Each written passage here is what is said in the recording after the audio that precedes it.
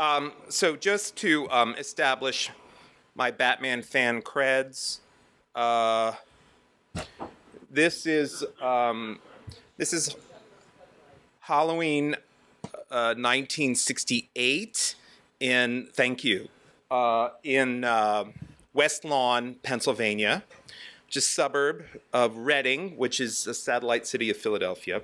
So that is my brother on the left, that is me on the right, and that is my mom in the middle, and she uh, made these Halloween costumes for us from scratch. So um, thank you, mom. Uh, so I've just been this huge Batman fan since. Uh, I mean, what am I here? I'm four. Um, and this, of course, is when the TV show with Adam West was still on prime time. And my brother was two years older than me, and he was totally into it. So, uh, um, therefore, I was into it too. And I never really sort of got over it. I've been a Batman fan ever since. So, uh, fast forward to 2012, um, DC Comics decided to revive a series that they had done called Batman Black and White, which was really, really cool. It's an anthology story series um, of eight page stories uh, that would be in, in black and white. And, and the idea was they would get talent that couldn't um, really commit to more than that. Um, so it's one thing uh, to try and get, say, Neal Adams to do a Batman series. It's another to say, all right, he'll do an eight-page story. Um, anyway, so they asked me to write one, which I did, and it was drawn by a wonderful artist named Michael Cho. Now, what I did not realize was that when the book when issue one, which I did the first story of, finally came out, uh, almost two years ago to the day, it came out in, at the end of September in 2013. And what DC Comics did was issue um, a blank sketch variant. Now, I'm not entirely sure of the origin of the blank sketch variant, but I think Marvel started it with the Ultimate Spider-Man uh, in the early aughts, and the idea was that in addition to the regular version of the comic, they would issue one with a sort of toothy paper that just had the logo of the comic on it, and uh, and it was like an extra dollar and you would buy it and then take it to a convention and get your you know wait in line and get an artist to draw on it or sketch on it. And I remember at the time when the Ultimate Spider-Man one came out, I thought that is the dumbest idea I've ever heard in my life. Like who's going to do this? Um, but it proved to be um, very popular. And of course, without telling me, I'm only one of the writers. Um, DC did this with this comic that I participated in called Batman Black and White. So I only found out about this by going to New York Comic Con in early October 2013 and getting the notion of I would buy up as many of these as I could.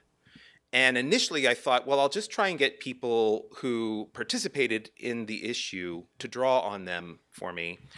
And it soon quickly exploded from there.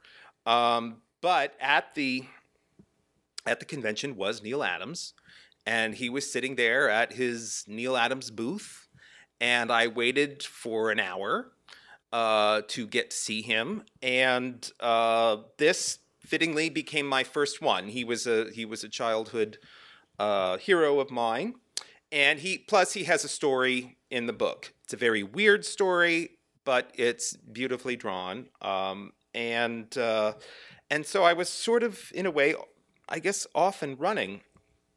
Uh, another guy who was at the convention uh, that year is Dave Bullock, and uh, he was an artist on the Batman animated TV series. Amazing guy, lives in Jersey, is so good, and um, so sort of the initial idea was that the artist would have to draw onto the comic book itself. Um, and it really it was supposed to be black and white, as you will see some some of the artists uh, reneged on that. But um, you know, I decided the more I got into this, the more it became this obsession that uh, I couldn't sort of give up. So I put on, uh, there was an automatic search on eBay for Batman black and white blank variant copies. And uh, to this day, I don't know how many of these they printed 5,000 maybe? And I would buy these up, and I decided to make it this sort of uh, crusade, so to speak, to um, get as many artists as I could find to draw on these uh, comics, and and it sort of grew from that into. Uh, it became a way for me to introduce myself to artists who I'd always wanted to meet and didn't have a reason or the courage to do so. Uh, this is Klaus Janson. This was at the same convention. Uh, he is best known as the inker of The Dark Knight Returns. The um, and there'll be a reference to that later. There's a reference to everything, as you will see. Um, and this is Mike Allred, who's a wonderful artist who I had wanted to contact forever. And uh, he's been doing the covers for Batman 1966. So here's his here's his Adam West, and he's he's on the West Coast. And then this is a, an Italian artist named Simone Bianchi. Um, I didn't really specify whether if the artist wanted to go onto the back of, of the cover, they could. Um, and as you'll see upstairs, a, a, bunch of them did. And again, this is a guy who, whose work I just thought was terrific, and I, I, I needed a reason to try and make contact with him. So went onto his website and and uh, and that was the result. Uh, this is a dear friend of mine, Charles Burns, uh, an amazing artist uh, who I've published at Pantheon, Black Hole, and X'd Out. And um, he's always been uh, influenced by Bob Kane, although you wouldn't really know it by looking at his work. But this is a direct sort of homage, shall we, shall we say. Um, this is Detective Comics number 44 um, from from the 40s, uh, which is obviously what he was drawing upon, literally. Uh, this is uh, Drew Friedman, um, who uh, I was amazed didn't tag it to a celebrity. Um, he does these hilarious, wonderful, brilliant portraits of famous people, um, often looking very silly. But but this in his way, is actually really this is his version of Batman. It's not Adam West playing Batman or any of the actors, and it's it's an ink wash. Um, he's just an amazing amazing guy. This is Dave Gibbons of Watchmen fame. I had done a book for him about the making of the Watchmen comic.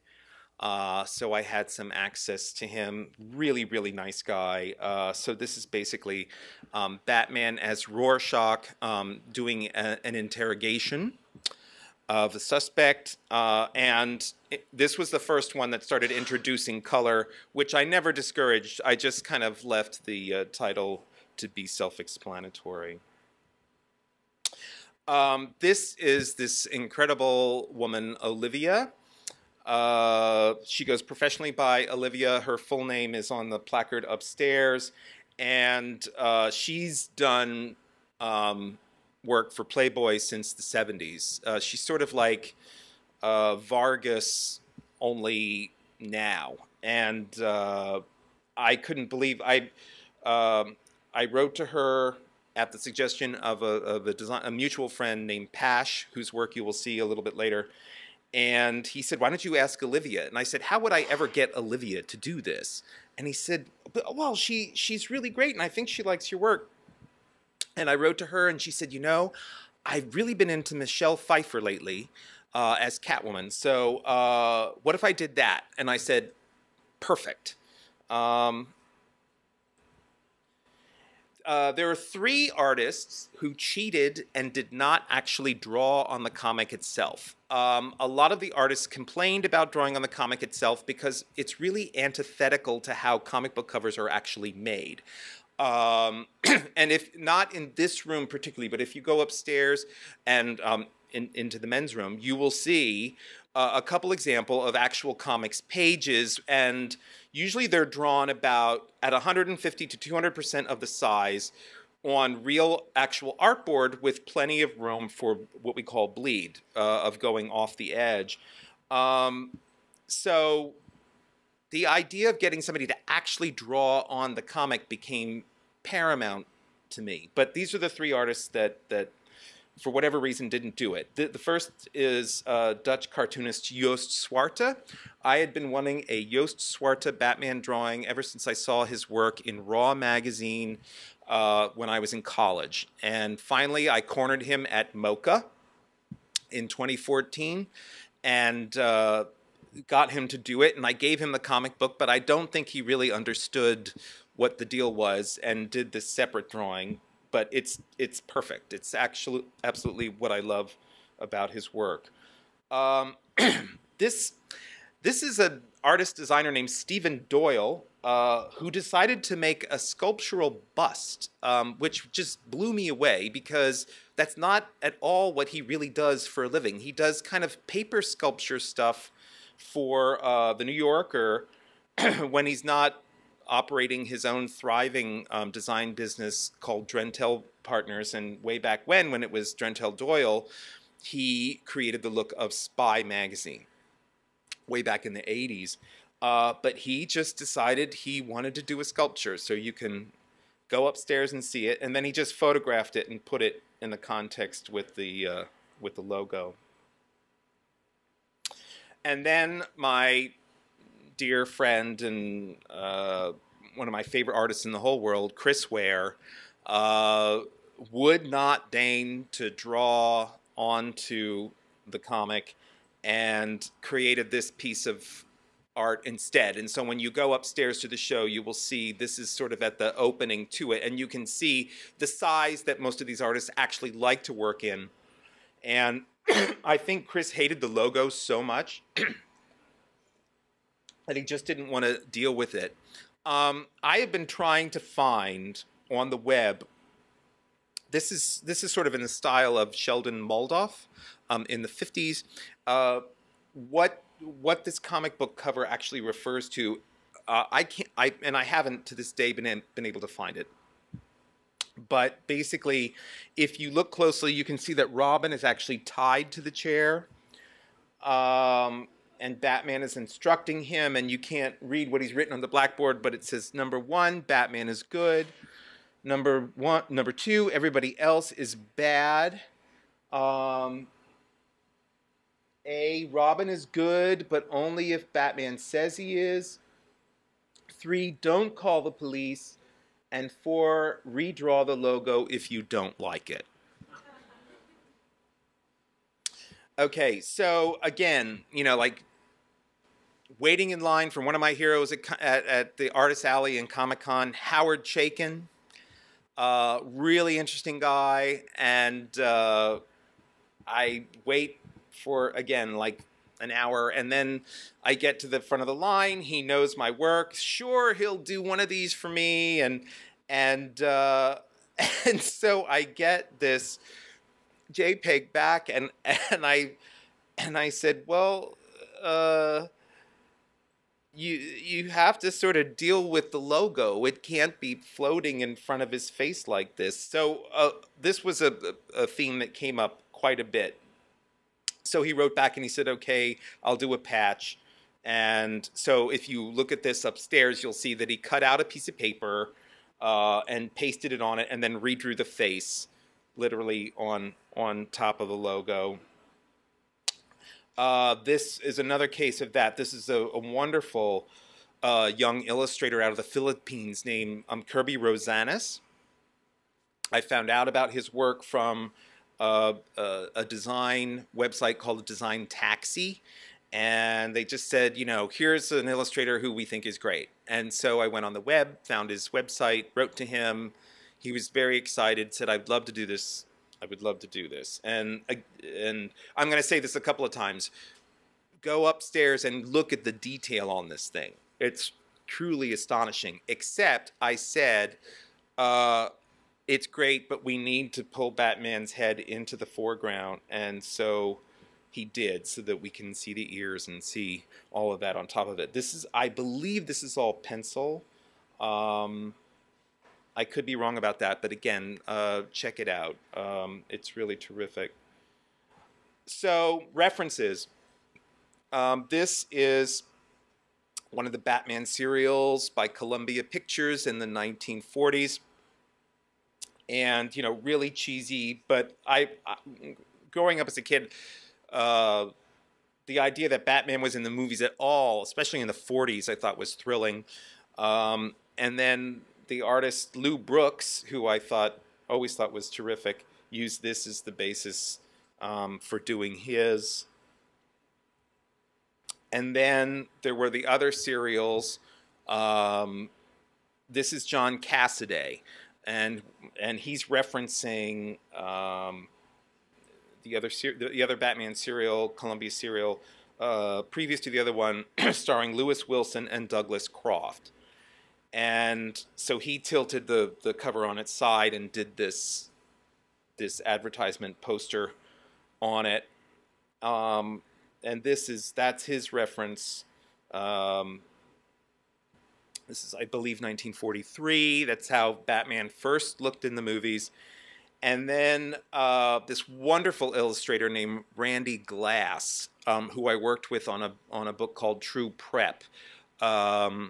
I, I definitely wanted him to do something, and he got fixated on this fan statue of the same thing. Um, and uh, he sent me this picture and he said, I want to do this. And I said, Well, if that's what you want to do, then do it, I guess. Randy is one of the people who does the stipple portraits of um, everybody for the Wall Street Journal. And so he kind of did his version of that. And it's hard it's hard to see but again go upstairs and look at this thing this uh, do you remember being in junior high and doing pointillism uh, this is pointillism taken to an art that is truly truly astonishing and uh, again he hated the paper surface couldn't work with it so he did this drawing on a separate piece of paper cut it out and then pasted it onto um, the comic and there's another person who did that who I will show you shortly. Uh, this is a fantastic illustrator from Vancouver named Ryan Heshka, who's published several children's books. And um, he loves this crazy, wonderful era of Batman from 1939, from the first 10 issues of Detective Comics, when Batman still had guns and would shoot the uh, would shoot the villains. Um, here he is doing that uh, with um, a villain named Doctor Death. We will also see him in a little bit later. Uh, but this is this is a this is a gouache painting. It's absolutely beautiful. Um, and you should take a look at it again uh, upstairs. Here are two other pieces of his that I had seen on the web prior to that, uh, which sort of introduced me to him.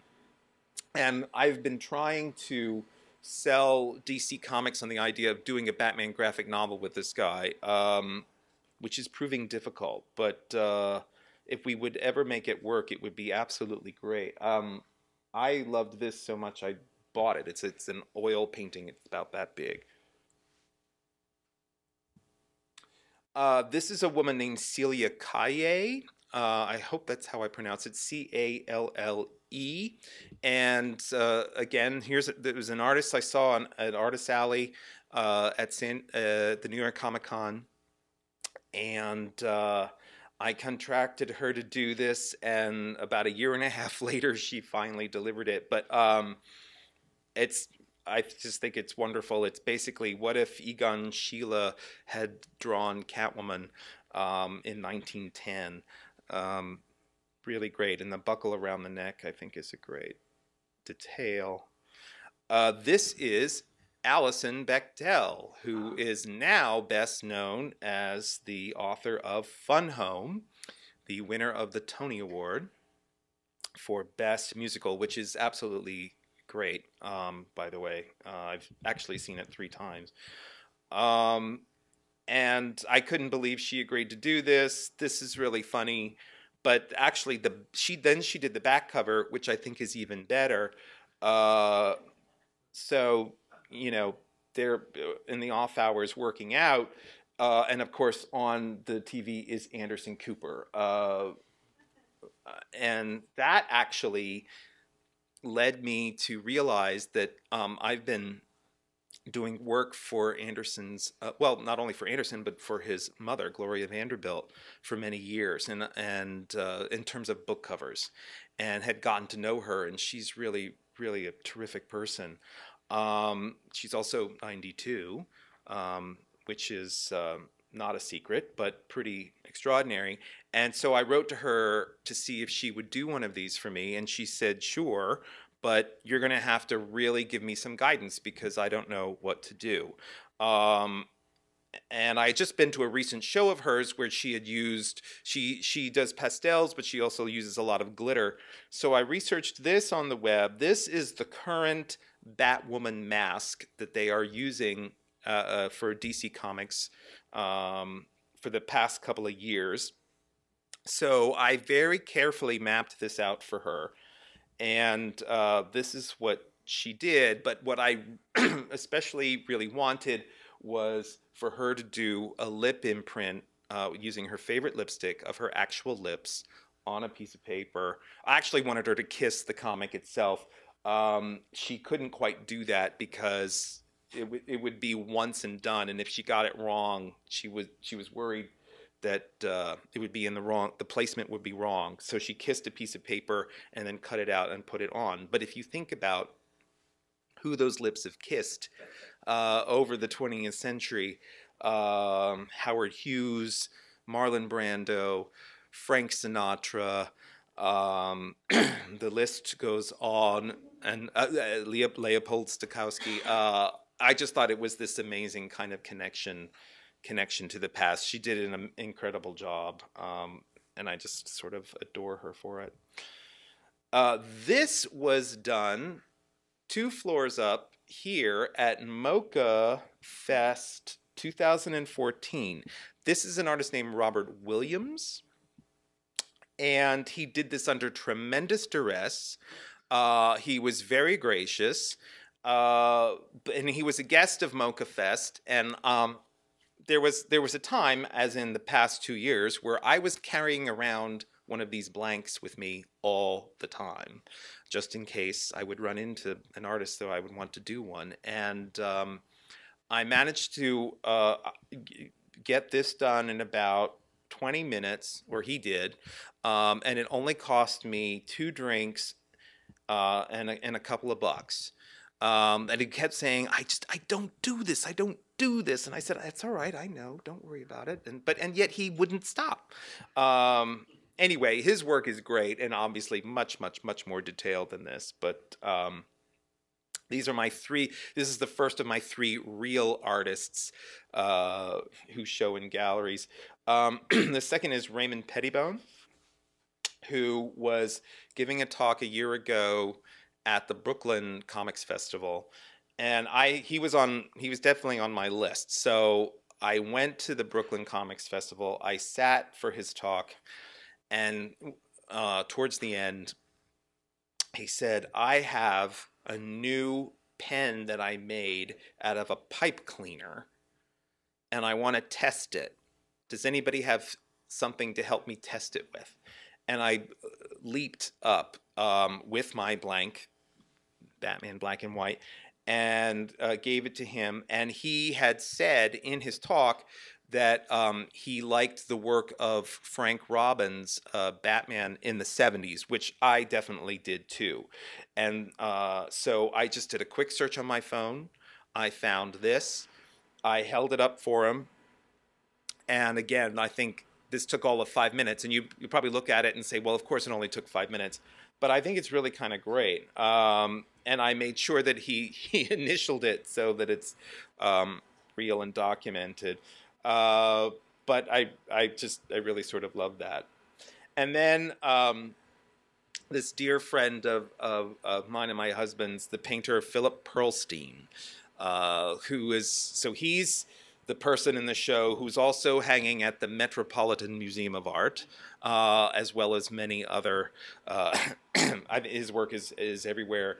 Um, and he agreed to do it, but he said, You need to give me something to draw from. So this is a, a Batman doll, a Batman doll that I actually helped design and, and uh, for a project years before. So I sent him that and I said, Just draw this. And then, and then he did this, which I thought was great. Um, it's almost as if one of the villains is, is holding a voodoo doll of Batman and poking pins into it. If any of you are not familiar with what Philip's work actually looks like, uh, here's an example. Um, really, really beautiful and incredible stuff. And again, he's he's up there. He's like 86, 87 years old. So it's very grateful to him. Uh, switching gears completely, this is Jeffrey Brown, who um, he was this scrappy little indie cartoonist who hit it big with his books about Darth Vader and his little daughter and Darth Vader and his little son. And uh, so this is his little bat cave vista, um, and I love, you know, tiny little tot Robin and the penguin tugging at his foot.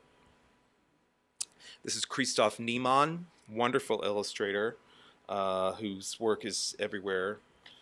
Uh, this is Jae Lee. I had chased this down for about two years. Um, he's a terrific uh, uh, illustrator, most recently on um, the Batman and Superman official title, um, and uh, this is this is probably my favorite drawing of Robin in the show. Just the gesture of it is just really, really sweet, really great.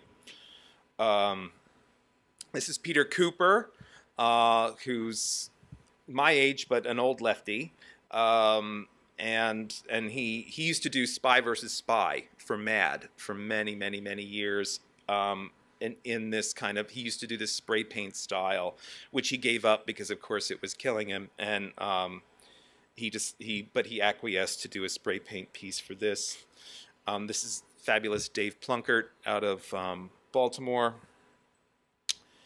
This is Seth, who's actually drawn Batman for me on more occasions than he'd like to admit. But um, this is, if you look at this upstairs, this is also a gouache painting, which is really fantastic.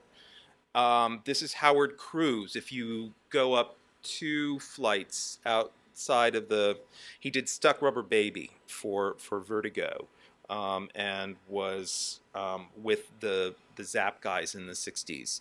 Um, so there's a wonderful page from Stuck Rubber Baby, two floors up outside the one office there. You can check that out. Um, evil, evil, Joker Dentist. Um, this was just me walking down Artist Alley, New York Comic Con. This guy, um, Chadwick Haviland from Oklahoma City, he had done one of these of Adam West, and he was selling, quote, prints of them, i.e., color Xeroxes. And I said, Do you take commissions? And he said, Well, yeah, but you have to give me something really specific to draw from. So I gave him this. Uh, and I always loved that in the show when they took out the bat shield um, and and to you know not get shot at. But that's pencil on paper. Uh, truly, truly amazing. Um, great stuff. This is a woman named Vanessa Del Rey. I was at TCAF, Toronto Arts and Comics Festival, Comics and Art Festival. Uh, I, I, didn't even know who she was, and uh, I just saw some of her work, and I said, "Could you do one of these for me?" And she said, "Yeah, come back in two hours." And there it was, and there she is. Um, this is a guy named Dexter Vines. This is at uh, New York Comic Con. He works a lot with Ed McGuinness. Um, this is Bob Camp, who helped. He was one of the art directors on Ren and Stimpy, which was a great um, love of mine in the early in the early 90s, so he does Ren and Stimpy, uh, Batman is Ren and Stimpy, and vice versa. Uh, this is J.G. Jones out of Philadelphia. Um, this is Dave McKean from Sandman fame. Sweet guy. Very, very strange drawing, but um, I was really appreciative that he did it. This was a great uh, this again, there, there's a guy named Lars Leetaru out of Philadelphia whose spot illustrations in the New York Times I had admired for years. Um, and I could never think of a project to work on with him until this, and I had no idea whether he'd be into it or not. And this was a great, this is probably the, the nicest revelation to me of the whole project. Um, it's just a beautiful, beautiful drawing. Uh, again, everybody hated working with that logo and trying, you know, to supplant it or hide behind it. This is Michael Cho, who I actually did the story with, and whose book Shoplifter I published uh, two falls ago. This is Dan Clowes, who I can't believe agreed to do it. Um, This is uh, Frank Quitely. Uh, it's a pen name, uh, Vin Deighan, out of Glasgow, Scotland. Um, and he drew upon the actual content of the story I wrote, which is about Robin and Superman searching for Batman who was missing. So that's on the front cover, and then inside the back cover is where he actually is. Um, and this sort of pertains to the story. This is Gary Panter whose work I had loved again since I saw it in Raw in the early 80s. Adrian Tomine, Optic Nerve. This is Gengoroh Tagame, who I published with Picture Box. Um, naughty, gay, Japanese genius. This is another, uh, this is Jiraiya uh, from that same group. Uh, again, this is pencil, pencil on, on the cover and then this is Jiro Kuwata, whose work I um, revived in Batmanga, and again he's in the upper upper 70s, and uh, I was amazed that he would even be able to draw Batman again, but he but he did. He drew Batman in Japan in 1966. Then the New Yorker crowd. I had wanted to uh, get Roz Chast to, to do a drawing of Batman and Robin for me forever, and she said, You don't understand. If I do Batman and Robin, they'll be on a couch in Queens arguing. And I said, Yes, that's precisely what I want. This is Barry Blitt, who does all those fantastic, uh, timely, I guess, op ed covers for the New Yorker, doing Bat Hamlet. This is Maira Kalman. Uh, intense, brilliant, wonderful. Um, this is a, a, Gary Gianni, whose work I had admired forever. He was the last professional artist to draw Prince Valiant, and um, I just saw him at San Diego Comic Con in his booth, and I said, "Would you do this?" And uh, he did this really terrific sort of spin on on the concept. Um, this is like done in the style of a of a uh, illustration from the 20s pulps. This is Orhan Pamuk. Uh, so he's the only person in the show who has won the Nobel Prize for Literature, um, whose covers I've been doing for a long time. Uh, this is about a year ago, and uh, right place, right time. He loves to draw, and I said go for it. This is actually echoes um, a, a, a, panel that appears later in the comic book itself. And then um, this is my friend Pash from LA, who's a designer. And uh, last June, I was out there on business and we got together and I showed him the book of these. And he's like, Oh, I would love to do one.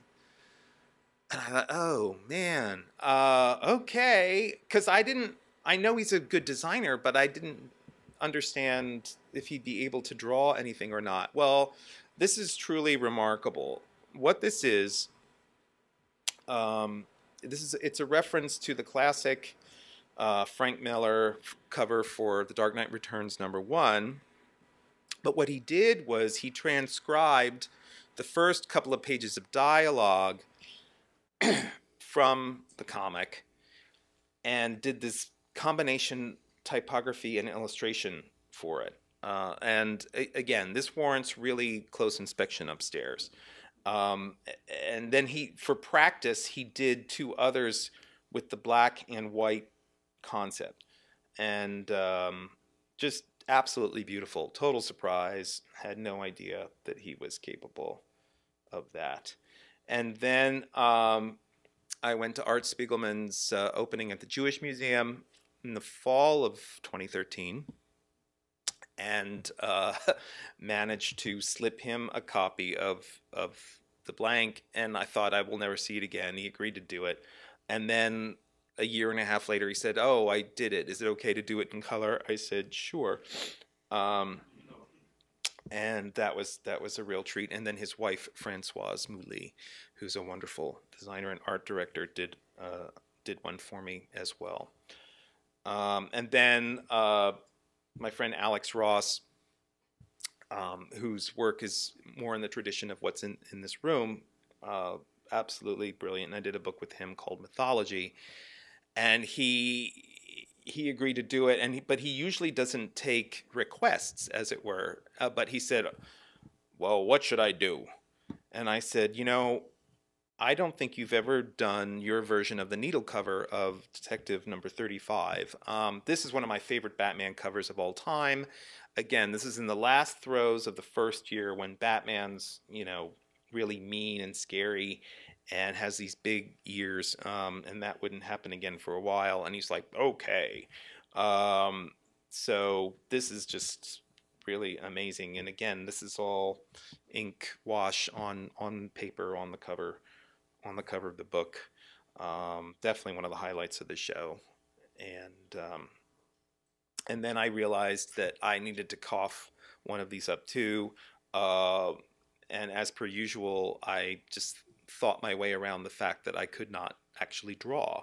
Uh, so I knew that the actual real cover of the book was underneath the blank, um, and that that's our at least the Batman logo is kind of wonderfully symmetrical. So I just did this um, sort of I mapped it out and cut it out and, and did colored pencil around the uh, around the hole. But uh, um, that's what I decided I would do for my own, especially since nobody else did that. So um, that that gives you a sort of taste for the show. That's about half the covers that are in it. Um, I want to thank Anelle Miller and everybody at the Society of Illustrators for agreeing to to mount this show. And when you see it upstairs, it's it's really sort of wonderfully eye popping. The shade of red they selected for the background, um, it's it's terrific. So the plan, once I got a bunch of these in hand, the plan became I need to do actually do something with them. It started out as a sort of fan geek project and uh, about two years ago, I was asked to be on the board of something called the Comic Book Legal Defense Fund, which is more or less the ACLU of comics, and they're an anti-censorship group. And uh, and this week is Banned Books Week, so um, read your Huck Finn and what have you. Um, but what we what we're going what we want to do and what we're going to do is collect all of these into a book with the blessing of DC Comics, which is um, difficult, but um, and a year from now, uh, we're gonna the book is scheduled to come out, and it will all the proceeds will go to the CBLDF. Um, so that is that is the idea. So um, thank you all for coming. If anybody has any questions or or anything like that, um, I'm happy to answer them. And if if there's any of you who have not been to the Society of Illustrators before, uh, welcome. It's it's really a, an amazing thing. Um, there's you know four floors of five, I guess, including downstairs, of amazing exhibits going on at any time. Um, in here is is an exhibit from the from the um, collection of I mean it's it's magazine illustration, but I think when the lights come up and you take a good look at it, you'll see that it's much more than that. I'm I am next to an N.C. Wyeth painting, right here. Um, and there's an enormous Norman Rockwell over the bar, two floors up, which I would uh, encourage you all to check out. So um, thanks a lot, and if you have any Q and A, um, let me know.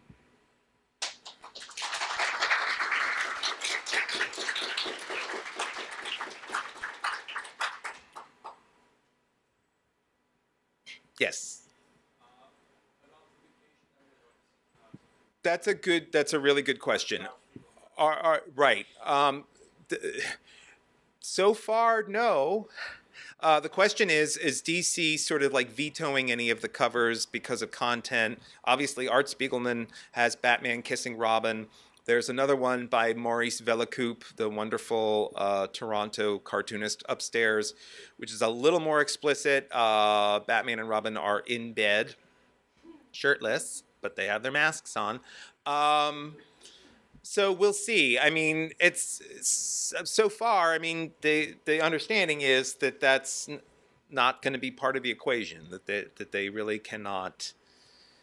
Um, they can't exclude exclude any of them, and that's correct. That's correct. And the other thing is.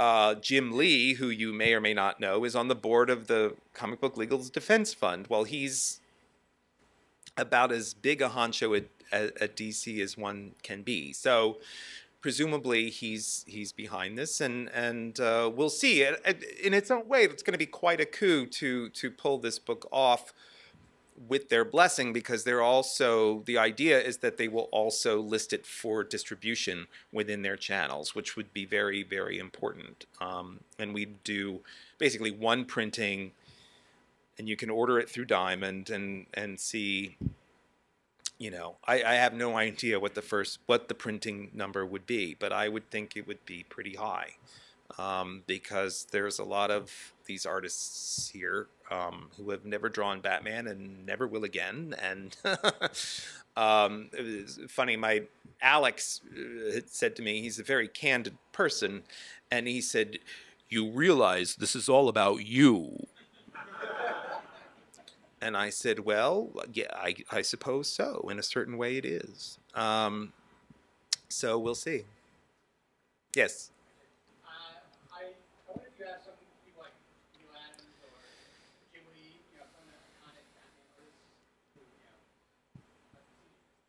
Well, Alex, you were late. I led with Neal Adams. Uh, um, you know, there there is a laundry list of people who have said yes and who have copies and haven't delivered yet. Um, and Jim Lee is one of them. So um, we'll see. You know, everyone's busy. This is a weird thing. Um, I tried to I tried to get as this was going along, I tried to get a, a good mix of people who drew Batman professionally for a living and then people who didn't at all. Um, and, you know, things that are really serious and cool, and then things that are whimsical and funny. And there's two, which I did not show, that are, well, purely typographical. Paula Scher created an alphabet and Debbie Millman uh, did a, did a quote in type and pencil by Neil Gaiman. Um, so, uh, in terms of the book, we have till the end of January to collect any other ones um, that we're going to collect. Uh, but there's 88 upstairs. I've just gotten three more in. I would like to make it an even 100 for the book. Um, so we'll see. What's that? Paul Pope is supposed to deliver his damn book. So we'll see. I think I'm going to see him next week. So, yes. Has anyone said flat out no? Um, a couple people, yes, have said no.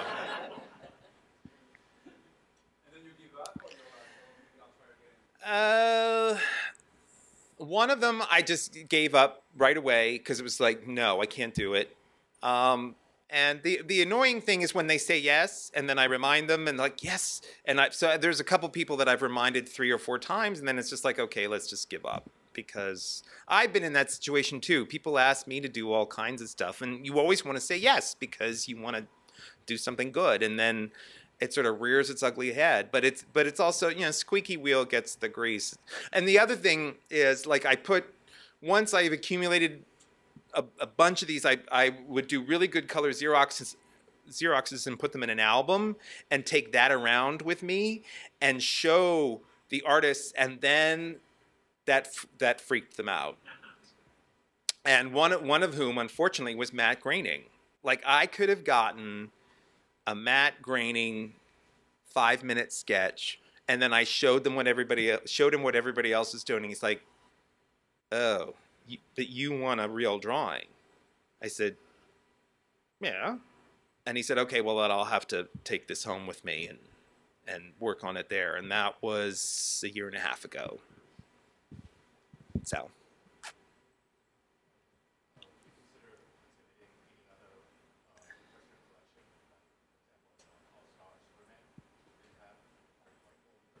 Uh, that's an interesting question. I think that would be another show. Like I have, I, that would be another show. Uh, I I saw the the show in the summer that Craig Yoe did here, uh, just his personal collection of stuff, uh, which was just wonderful, absolutely wonderful. Um, that would be something I would have to talk to the, these guys down the line. The, the, what I really like about this is that they're they're all united by the format. Um, and so when you go and see it, you you there's a commonality to it in terms of they were all in the same boat to do this to do it this particular way. And then if I started just showing other artwork that I owned, it wouldn't have the same meaning. Wouldn't have the same meaning to me. But you know, who who who knows uh, down down the line. Yes, yes, that's a sort of treasured thing that I put together. It's hard to explain, but um, once the design of all uh, All Star Superman number ten came out, I bought up all the art for it and anyway, um, we'll see. Maybe. Ah, yes, yes, yes. Okay, so a week a week from tomorrow night is the official opening reception for the show. That's October seventh, six to eight. Uh, I know for a fact a bunch of the artists are going to come, um, and that the, significance of that date is that New York Comic Con starts the next day. So we were hoping that we would get some out of towners in for that. And then there's going to be a Halloween party. Halloween party so I just want to say thank you again to to Anelle. Uh, um, it's just uh, this, this, weird obsession I've had, and that, but to see it, you know, it's you know, you go into an art gallery and you see it up on a wall, and it's behind glass, and there's a little card that says who did it, and all of a sudden it takes on a I don't know deeper meaning, or it's re- it's it's really fun. Please. Yeah. So, and, and and again, when the lights come up, take a look at this show. It's just it's beyond. It's really really great. Thanks again.